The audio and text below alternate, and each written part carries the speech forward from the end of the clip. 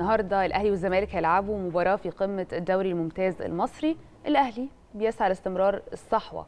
عقب رحيل موسيماني والزمالك بيسعى للحفاظ على قمه الدوري. آه خلينا نعرف أكتر بقى مع حضراتكم عن المباراه. تشكيل متوقع من الناقد الرياضي محمد عفيفي منورنا في الاستوديو. محمد صباح الخير عليك. يعني ودايما ضيف عزيز علينا في صباح الخير مصر. صباح الخير صباح الخير جمانة هانم صباح الخير أستاذ محمد. صباح, صباح الخير على كل مشاهدي صباح الخير يا مصر أينما كانوا في بداية يوم استثنائي لأنه في القمة.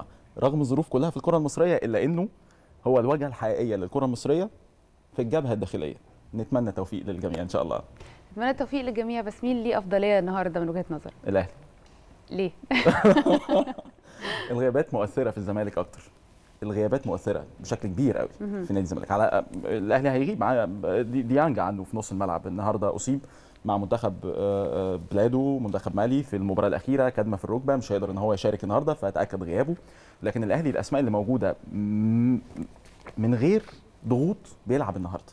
ناس كتير اتكلمت من زمايلنا في المجال الاعلامي عن إنه لا الأهلي مضغوط سامي قمصان مش هو المدرب الأساسي وعارف كده كده إن هو مش مكمل ف عليه ضغوط كبيرة. لا لا خالص. سامي قمصان لو خسر النهارده أقول لك ده مدرب احتياطي. الراجل ما كانش موجود مش مطالب بالفوز. اللعيبة نفسها في حالة من الراحة أكتر. مع مجموعة من العناصر اللي موجودة الأساسية اللي بتلعب بشكل مستمر وبتقدم بشكل كويس. فأعتقد إنه لأ في ميزة أكبر طبعا مباريات القمة خارجة عن إطار إن إحنا نتوقع أو ان إحنا نقول. لكن في أمور فنية بتدي إيحاء كده إنه لأ في في أفضلية. ما أقدرش أقول للناس النتيجة بتاعت الدور الأول 5 3 تتكرر أو النادي الأهلي هيكون مسيطر بشكل كبير ولكن طارق حامد لما يغيب من نص ملعب نادي الزمالك آه مؤثر مؤثر مم. كبير قوي. لأنه لما ديانج ما يكونش موجود في نص ملعب الأهلي السولية وحمدي فتحي تقال قوي. وخدوا راحة بعد المنتخب ومباراة القمة ليها تهيئه سيكولوجية مختلفة كمان. عكس نادي الزمالك. نادي الزمالك دلوقتي هو إحنا أصلا مش عارفين جوزفالدو فيريرا البرتغالي المدير الفني نادي الزمالك هيلعب أنهي طريقة لعب؟ طب هيلعب ثلاثة ورا ولا أربعة؟ مم. طب لو لعب بأربعة هيلعب بالراجل مثلا محمد طارق اللي هو الصغير اللي طالع من فريق الأمل أو من قطاعات الناشئين في نادي الزمالك ولا هيلعب بعبد الله جمعة مثلا اللي هو بيلعب بشماله هيلعب ناحية اليمين ويخسر أو يحط مثلا امام عاشور ناحية اليمين ويخسر جهوده في نص الملعب كلاعب مسدد بشكل متقن.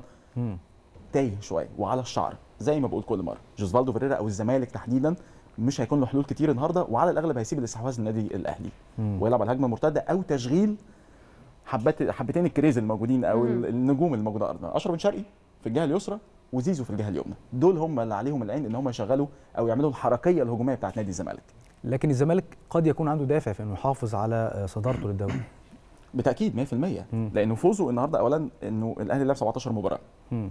الزمالك لعب 20 مم. لو الاثنين تساووا ممكن الأهلي لو كمل الثلاث مباريات حتى الوصول لعدد مباريات الزمالك هيبقى في خمس نقاط لصالح نادي الأهلي لأن الزمالك ضيع فرص كتير أو ضيع نقاط كتير وهو ماشي في السكة. فوز النهارده الزمالك فوز مهم قوي اللاعبين والدوافع اللي موجودة عندهم آه دوافع كبيرة جدا. وكمان الحوافز المادية اللي خرجت من مجلس إدارة نادي الزمالك إنه لازم اللاعبين يفوزوا هياخدوا حوافز مادية. ومجلس إدارة نادي الزمالك في الفترة الأخيرة بيدي حوافز مادية كبيرة حتى مش بس في كرة القدم والله في ال volley وفي ال handball حاجة مختلفة كده شوية. ففي حالة من إنه امشي مع دماغ اللعيبة اللعيبة عايزة إيه دلوقتي؟ مم. بس الأهم الكلام الكتير ده يترجم لكلام كبير على أرض الملعب. جمهور الزمالك مش هيستحمل إنه يخسر خسارة جديدة من النادي الأهلي في موسم واحد. وزي ما قلنا الأهلي النهارده بيلعب بدون ضغوط. يعني لو خسر هيبقى فيه فكرة إنه آه, آه المدير الفني لسه ماشي آه عندك مباريات كتير تقدر تعوض ممكن تجيب مباريات القمة عارفين ما ينفعش نقول عليها بلا ضغوط. وأنت عارف كده كويس. لا 100% لأن في ضغوط على من الجماهير. وأنت عارف ده الأهلي والزمالك. الجمهور نفسه هو صاحي الصبح كده حاسس إن في يوم مختلف حتى لو الظروف بتاعت الكره المصرية مش حلوة بيفصلوا. طبعا دي القمه ليها وضع تحديدا قلنا القمة زي ما قلت الأهلي والزمالك. بس هرجع بقى معاك لنقطة أنت اتكلمت فيها فيريرا والزمالك ومفيش في إيده كروت كتير.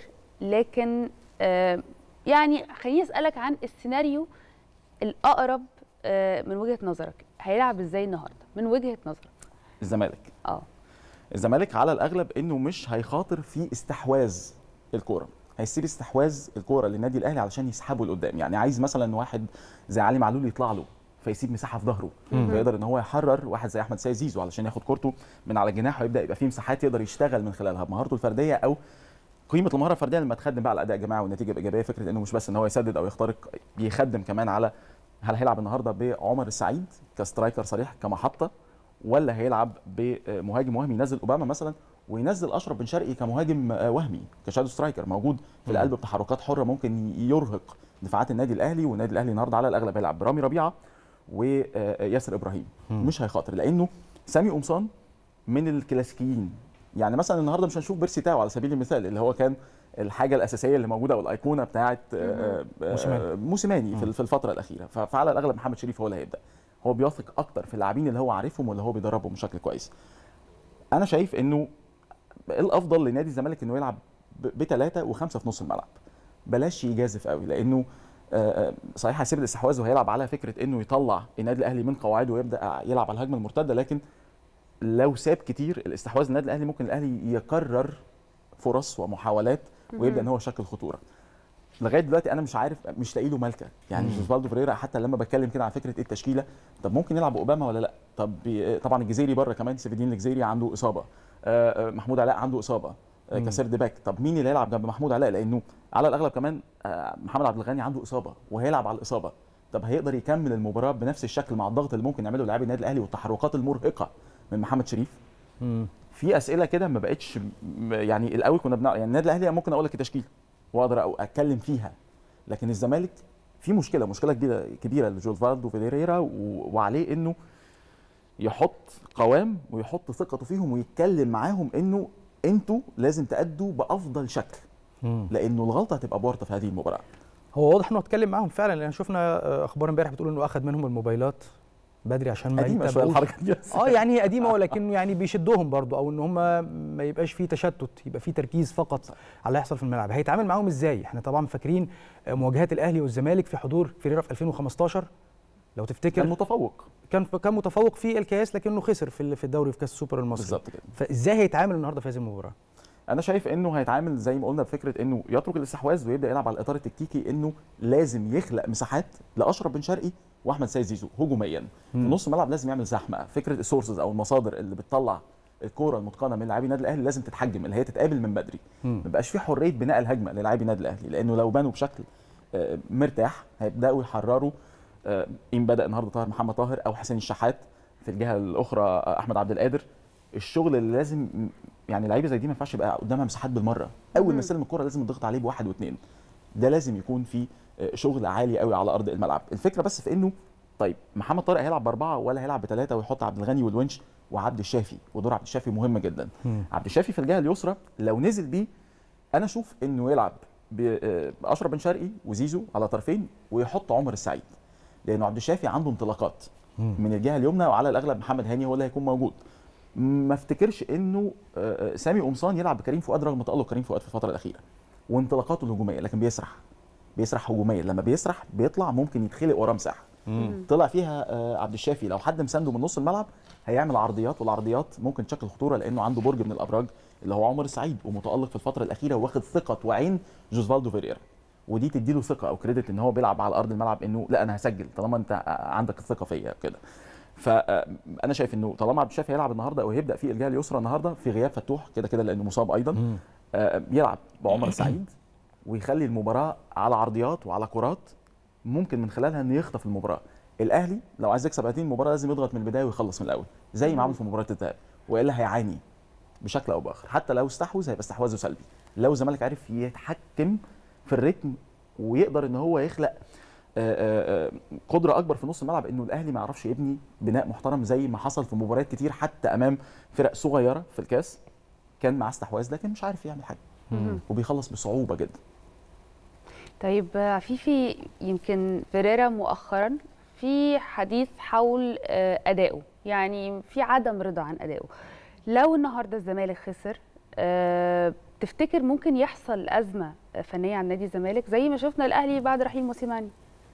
أنا مش شايف إنه الأهلي في أزمة فنية بعد رحيل موسيماني. الأهلي لم نفسه وخرج الموضوع بشكل شيك وخلاص. إن سامي قمصان هو اللي موجود. أنت عارف إن أنت تبقى راجل مؤقت لكن كمل بشكل كويس. وسامي قمصان على فكرة من الناس اللي هي بتفهم كورة يعني اللي متابعه كويس عنده كورة حلوة. جوزفالدو فيريرا تاريخ. خلص حاجات كتير أو مش عايز أقول في حاجات كتير أصبحت محروقة نسبيا. أنا مش بس وأنا بتكلم مش عايز احسس الناس ان أنا مايل للاهلي أكتر خالص والله. أنا بتكلم بشكل عام بس علشان بتكلم منتهى الحيادية. حقيقي 100% لكن جوزفالدو فيريرا مش مش المفروض انه يخلق أزمة. الكرة المصرية الكرة المصرية مين بيديرها؟ الاتحاد ولا ال ال الرابطة؟ انت تقول لنا. انت تقول لنا. سؤال. الكرة المصرية وقفت على ركلتين جزاء. بقينا من مشروع واحسن منتخب ووصيف افريقيا ومنتخب جامد جدا وحاجة لبقينا لا مشروع ولا عارفين حتى بيقولوا إن إحنا مش عارفين لعبتنا توقف كورة. دي أسوأ حاجة في الكورة. أنا مش عايز أبقى قاسي شوية لكن لما تحط مشروع.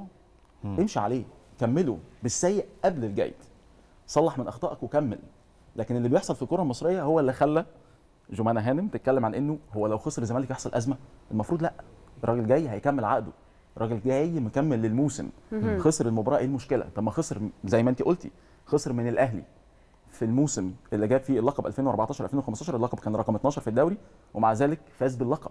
مم. الفكرة في إنه اديني مشروع اديني مخطط لكن الكلام المحروق من أعضاء مجلس إدارة اتحاد الكورة اللي نفسه بيتقال في كتير من الأندية الكبيرة اللي المفروض ما تلعبش بأعصاب جماهيرها. طب ما هو من موسمين يورجن كلوب خسر كل حاجة في ليفربول. هل مشوه بس ده مش system الزمالك. يعني مش ده, النظام اللي ماشي أي حد في مصر. ال system اللي لازم يكون موجود حط لي مشروع وحط لي ناس بتفهم وبعدين يبقى تعالى اتكلم معايا. حط لي مشروع على اساسه اختار أصلا المدير الفني فأنا اخترت المدير الفني على أساس مشروع ووارد الكورة زي ما أنت كنت بتتكلم فيها مفاجآت. صحيح. ومش غلط إن جوزفالدو فريرا يرجع تاني زمالك. في مدربين كتير آه راحوا ورجعوا بس مثلا مثلا ما ينفعش مثلا آه المدير الفني السابق لمنتخبنا الوطني يرجع تاني مثلا. اللي كسر ما بيصلحش من الآخر كده عشان نبقى كان عشان بس في كلام كتير وبالونات كتير قوي بتطلع في الكورة. أنا بدخل الكورة المصرية لأنه زي ما قلت في البداية كده وأنا بعمل انترو صغير كده بعمل حاجة كده يعني. بس الفكرة إنه الواجهة الحقيقية للكره المصرية في الجبهة الداخلية إحنا عندنا الجبهه الخارجيه محمد صلاح والناس المحترفين كده ومنتخبنا اللي هو سوى الصورة. آآ آآ لكن وده سيكولوجيا من اللاعبين والله اتحط عليهم إنه الجهاز الفني ده لا يصلح مش عارف إيه هو كده كده لا يصلح من الأول بس لما حطيته لازم تتحمل المسؤولية اللي فات اللي هو ايهاب جلال يعني. لكن إنه في الجبهة الداخلية الأهلي والزمالك هم الواجهة. فما ينفعش يبقى في كلام عن إنه مباراة واحدة تخلي فريق يستغنى عن مديره الفني ويضيع مشاريعه وأفكاره. أنت مكمل أنت مكمل. ايا ما كانت النتيجة صلح من أخطائك. المفروض ما يحصلش أزمة في نادي الزمالك. ومفروض الزمالك بيبحث عن لقبه الثاني على التوالي ويكمل المسيرة في دوري لأنه حامل اللقب. جمهوره عايز منه لقب جديد. يقدر آه يقدر. رغم إن الأزمة إنه ما كانش فيه قيد ومجموعة من اللاعبين عدد قليل من المميزين أو أصحاب الخبرات اللي يقدروا يحافظوا على اللقب لكن عنده أنا شايف إن أحمد سيد زيزو أحسن لاعب في مصر بلا جدال. لاعب يخلص. صحيح. موجود في نادي الزمالك. يستغله آه يستغله. بس الأفكار التكتيكية اللي تكون موجودة والانضباط والتهيئة السيكولوجية للاعبين. إحنا خسرنا من أثيوبيا وخسرنا منتخب مصر وخسرنا من المنتخب الكوري بسبب التهيئة السيكولوجية. اللعيبة كده كده راح الماتش.